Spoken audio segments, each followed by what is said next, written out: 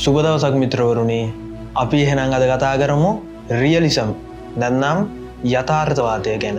බොහෝම කාලයකට කලින් ඉඳං මිනිස්සුන්ට වුවමනාවත් තිබුණා චිත්‍රන්තිද්දි. ඒ කියන්නේ චිත්‍රකර්ම පටන්ගත්ත කාලෙඉදං ඩිංගඩිංග මිනිස්සුන්ගේ මොලේ විකාශනය වැඩි වෙනවත් එක්කම මිනිස්සුන්ට වුමනාවත් තිබුණා. ඇත්ත ඇති සැටියෙන් පෙන්නන විදියට චිත්‍ර නිර්මාණය කරන්න. එතකොට මිනිස්සු පාවිච්චි කරා එක එක උපක්‍රම සහ නොයෙක් නොයෙක් දේවල් මේ චිත්‍ර ස්වභාවධර්මයට අනුකූලව සහ නිවැරදිව අඳින්නේ කොහොමද කියන දේ කරගන්න විවිධාකාරයේ දේවල් භාවිතා කරා. ඉතිං චිත්‍ර කලාව මේ විදියට වර්තමානය කාලය වෙනකං දියුණු වෙලා එනකොට සහ මුල් කාලය ඉඳගෙනම චිත්‍ර කලාව තුළත් විවිධාකාරයේ මතවාද ඉදිරිපත් වෙන්න පටන් ගත්තා. ඒ මතවාද අතරින් එකක් තමයි මෙන මේ රියලිසම් කියල කියන්නේ. රියලිසම් නැන්නම් යථාර්ථවාදී මතවාදය තුළදී අපි කතා කරන්නේ යථාර්ථයට අනුකූලව ඒ ඇන මේ අපේ ලෝකයේ දැනට පවතිම සෑම දේකටම අනුකූලව කොහොමද මේ කලාව නැන්නම් අපේ දෘශ්‍ය කලාව චිත්‍ර කලාව කරගෙන යන්න කියලා. එතකොට අපි මූලික වශයෙන් අපේ චැනල් එක හරහා කතා කරන්නේ දෘශ්‍ය කලාවනුත් චිත්‍ර කලාව ගැනනේ. ඉතිං අපි මෙතනි දම් බලමු චිත්‍ර කලාව චිත්‍ර කලාවෙදී මොන විදියටද මේ මතවාද ක්‍රියාත්මක වුණේ කියලා. ඉතිං ඔයකට්ටය දැන් හැමෝම දන්නවා චිත්‍ර කලාවේ මතවාදී අංග ගොඩක් තියෙනවා ඒකෙන් එකක් තමයි මෙන්න මේ රියලිසම් කියල කියන්නේ. රියලිසම් වලදී අපිට බලාගන්න පුළුවන් විවිධාකාරයේ විදියට කොටස්වලට කැඩිච්ච මේ රියලිසම් වලම විවිධාකාරය ආකෘති. ඉතින් මේ ආකෘතිවල අපිට කතා කරන්න පුළුවන් ස්වභාවිකවාදය සහ ඒ වගේ තවත් ගොඩක් දේවල් ගැන කතා කරන්න පුළුවන් අපි ඉස්සරහට කතා කරමු. ඉතිං රියලිසම් වලදී වඩාත්ම කැපී පෙනෙන දෙයක් තමයි මේ ස්වභාවිකවාදය. අද කතා කරන්න මම ස්වභාවිකවාදය ගැනනෙමේ මෙන්න මේ රියලිසම් ගැන. මම මේ මාතෘකාව පටන්ගන්නකොට මුලදිමය කට්ටයන්ට ගෙව්වා ස්වභාවිකවාදය නැන්නන් රියලිසම් පටන්ගන්න හේතුනේ මිනිස්සුන්ට වුවමනාවක් තිබුණා.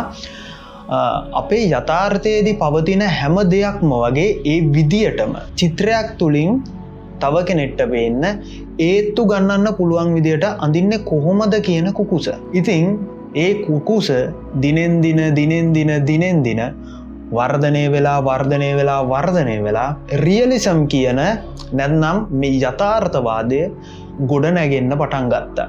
ඇත්තරම මේ යථාර්ථවාදී සංකල්පය මුලින්ම මුල් බහින්න පටන් ගත්තේ ප්‍රංශදි තමයි මේ යථාර්ථවාදී මොඩල් එක ක්‍රියාත්මක වෙන්න පටන් ගත්තේ. යථාර්ථවාදය කියන්නේ උදෙක්ම මේ චිත්‍ර අඳින එක පමණක් නෙමෙයි මේ චිත්‍රයට එකතු කරගන්න ඕන ඔබ්ජෙක්ස් වගේ දේවලුත් මොනවද කියල කියන්න තමයි මේ යථාර්ථවාදය පටන් ගත්තේ. අපිට මෙතෙන්දි කතා කරන්න පුළුවන් යථාර්ථවාදී චිත්‍රශිල්පියෝ කවදාවක්කත් ඒඇනේ මං මේ කතා කරන යථාර්ථවාදීන් කවදාවක්කත් චිත්‍ර වලට යථාර්ථය නොමැතිවන වස්තුූන් භාවිතා කරන්න පෙළඹුණේ නැහැ. ඒකට ඒවා ප්‍රතික්ෂේප කරනවා. ප්‍රසිද්ධියම ප්‍රතික්ෂේප කරනවා. යථාර්ථයට ගැලපෙන් නැති දේවල්. එතකොට ඔය කඟවේන්නු වගේ සත්තු රාක්ෂයෝ වගේ දෙවල් ගැන ඇහැට දකින්න හිත හිටපු නැති හැම දෙයක්ම වගේ. මිත්‍යා දෘෂ්ටික දේවල් අපි කොටිමකිවොත් මිත්‍යා දෘෂ්ටික දේවල් මේ ගොඩට දාගත්තේ නෑ යථාර්ථවාදී චිත්‍රශිල්පී.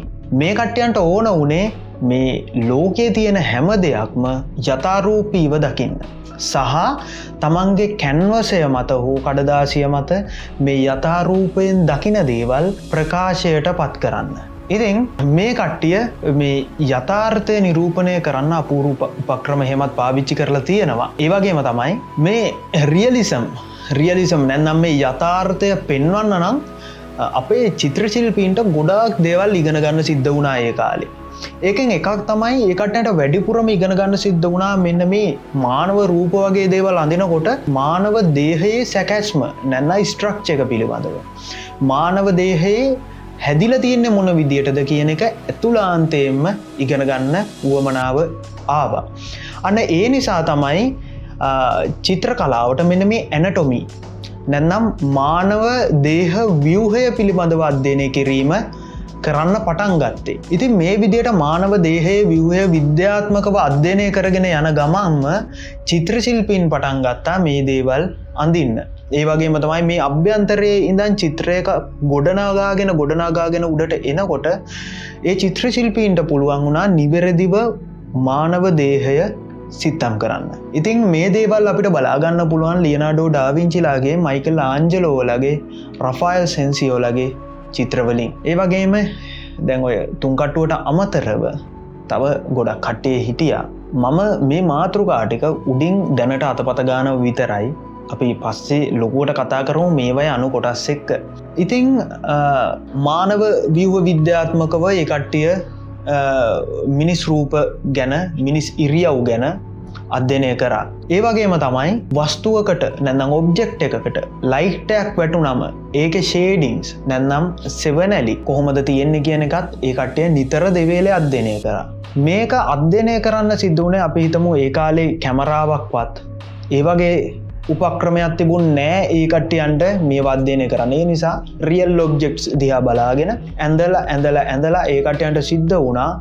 විවිධ ආලෝක තත්ත්වයන් යටතේ යම්කිසි ඔබ්ජෙට් එකක් තිබුණොත් ඒක අඳින්න වෙන්නේ කොහොමද කියන කාරණාව ගැන වැඩිදුර අධ්‍යනය කරන්න. එතකොට ඒ කට්ටයන්ට සිද්ධ වුණා ෂේඩිංස් නැත්නම් අපි කියනවා සෙවනැලි යම්කිසි ආලෝකයක් කොහෙන් හරි වැටෙනකොට ඒ වස්තුවට ඒ ආලෝකයට සාපේක්ෂව සාපේක්ෂ සෙවනැලි ඇතිවෙන එක සාමාන්‍ය දෙයක්. ඉතින් මෙන මේ සාමාන්‍යයෙන් සාපේක්ෂ සෙවනැලි කොහොමද ඇතිවෙන්නේ කියන එක ඒක නිරන්තරෙන් අධ්‍යනය කරන්න සිද්ධ වුණා මෙන්න මේ යථාර්ථවාදී චිත්‍රශිල්පීන්ට. එකට ඒ හරි උනන්දුවෙන්ගේ වැඩේ කරා. ඊට පස්සේ ඒකටයන්ට සිද්ධ වුණා මෙන්න මේ වයනය.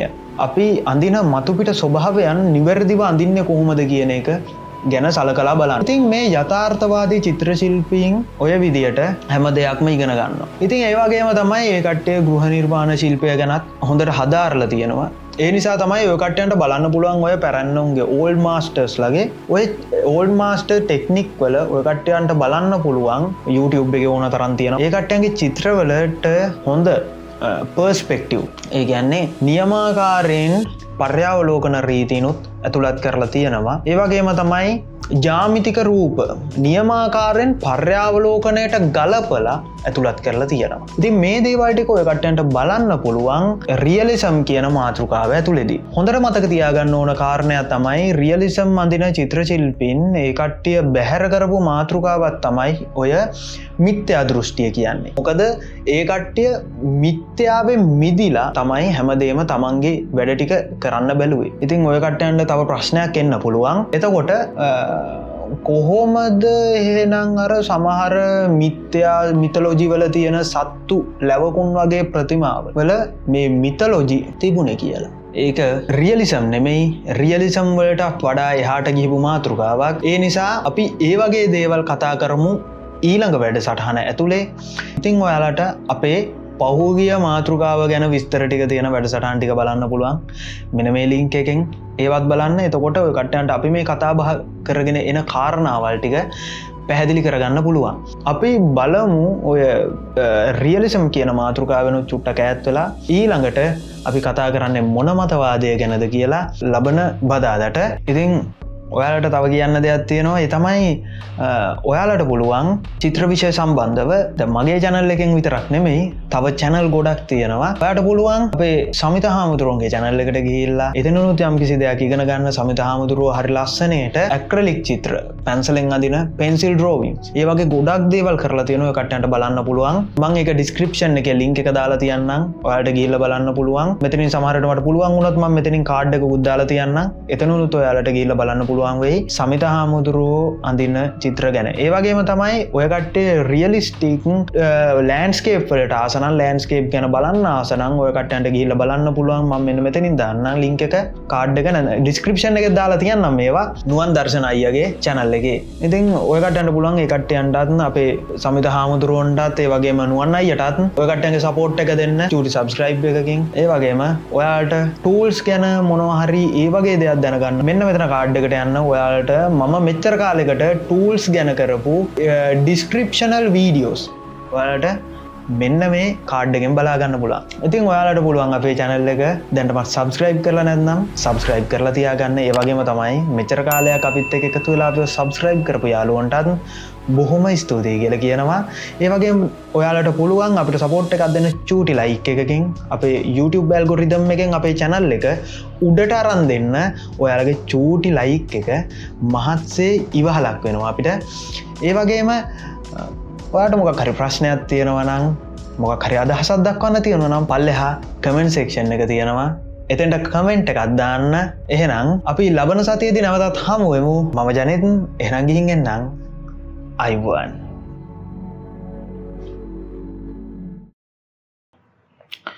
රියලිසම් කියල කියන්න ඉතින් රියලිසම්ය කියන්නේ රියල් දේවල් අදිරගෙන වෙන එකක්ය ඉරි මේ ලෝක තියනේ වෙප යදින්න ඒක තමයි රියලිසම් නැතු දේට වඩා ලොකු දෙයක් නෑන. මන හිතන්නේ